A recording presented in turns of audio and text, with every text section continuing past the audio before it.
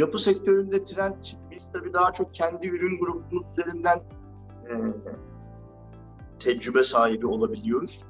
Özellikle e, bu alanda en çok e, son dönemin yaygınlaşan ürün gruplarından bir tanesi ter- terazzo kullanımı.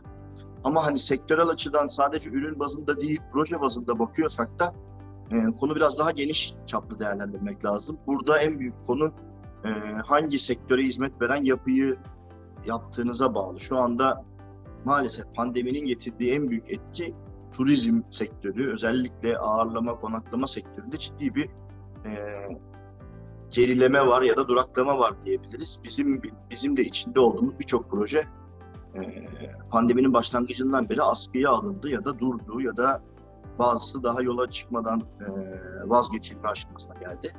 Tabii ki başlayan işlerin birçoğu neticelendirildi. Buradaki en büyük konu tabii e, pandemi nasıl bitecek? Bundan sonraki hayatımız ya da alışkanlıklarımız ne kadar değişecek?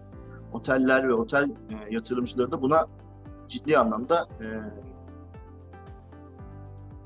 dikkat etmeleri gerekiyor. Biz şu an Türkiye'de, özellikle Türkiye'de pandemiden sonra yapı sektörüne gibi değişiklikler görüyoruz. Bir kere konut, konut sektörü çok ciddi bir e, atılıma geçti diyebiliriz. Ya da bu hani biraz daha bireysel aslında anlamda.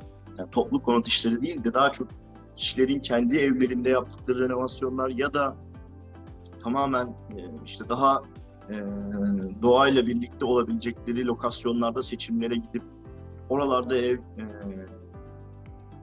yapımı ya da alımına doğru kaydıklarından dolayı özellikle bireysel konut tarafı çok ciddi bir şeyde. Biz de yani kibrit materyali olarak geçmiş dönemde çok daha commercial'da kalan bir firmaydık. Yani alışveriş merkezleri, işte hastane projeleri, kamusal alanlar buralarda daha çok varken şimdi e, özellikle yurt içindeki proje grubumuzda konut da e, ağırlığını hissettirmeye başladı açıkçası.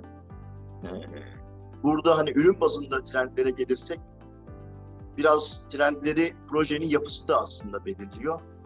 Bu bahsettiğim konut projeleri ya da biraz daha gene hani konak konaklama sektörünün e, bir alt grubu hani restoranlar, kafeler vesaire tarafında da küçük tayıllar, e, el yapımı karolar bunlar çok e, öne çıkmaya başladı. Terazzo gene demin bahsettiğim gibi e, ana konulardan bir tanesi. Terazzo, terazzo gönüllü porselenler bunlar da hayatımıza girdi ve son bir, birkaç yıldır da hem yurt içi hem yerel lokal firmalarımız hem e, yabancı e, üreticiler bu konuda ciddi tasarımlarda geliştirmeye başladılar. Dijital baskı e, çok ciddi anlamda artık e, hem duvar kağıtlarında özel tasarımlar hem seramiklerin yüzeyine yapılan özel tasarım dijital baskılar bunlar da tekrar gündemdeki ürünlerden bazıları. Böyle diyebilirim. Pandeminin bundan sonra hani hayatımızda ne kadar kalacağı ve bundan sonra nerelere e, gideceği de aslında bu değişimlere, yapacağımız seçimleri ve trendleri etkileyecek gibi gözüküyor. Çünkü hala ne zaman tam olarak sonuçlanacağını ve ne şekilde evrileceğini bilmiyoruz. Bu yüzden de bir e,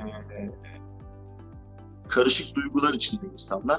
Ama birincil olarak mutlaka evlerin evleri artık daha konforlu olmalı, daha e, yaşanabilir evler olmalı.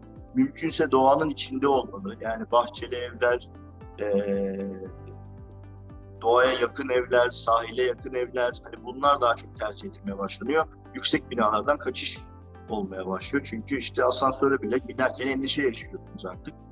Ee,